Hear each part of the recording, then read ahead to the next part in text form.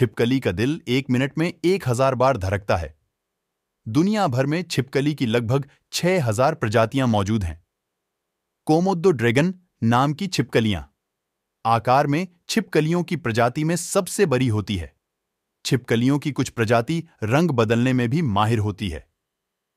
लगभग 200 मिलियन सालों से छिपकलियाँ पृथ्वी पर है। छिपकली को वैज्ञानिक भाषा में लेसरटीलिया कहा जाता है। भारत में मिलने वाली छिपकली जहरीली नहीं होती। विश्व भर में छिपकलियों की लगभग 6000 प्रजातियों में से मात्र दो प्रजाति गिला मॉन्स्टर और मैक्सिकन बिडेड ही सबसे जहरीली होती है। छिपकली की पूछ कटने के बाद भी वापस आ जाती है।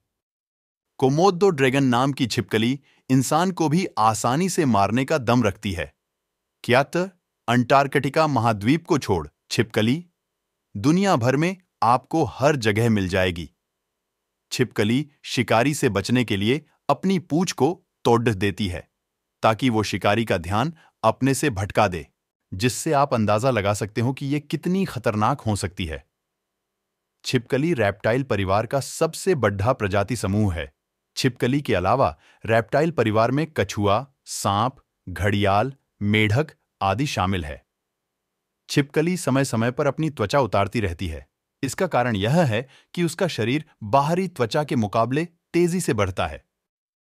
छिपकली की नाक उसकी जीभ में होती है, इसीलिए किसी भी चीज़ को सूघने के लिए वो अपनी जीभ बाहर निकालती है। दुनिया में छिपकली की ऐसी प्रजाति भी मौजूद है जो सांप की तरह दिखती है। इनकी पहचान इनके सिर में मौजूद कान के छेद और आँखों से की जा सकती है।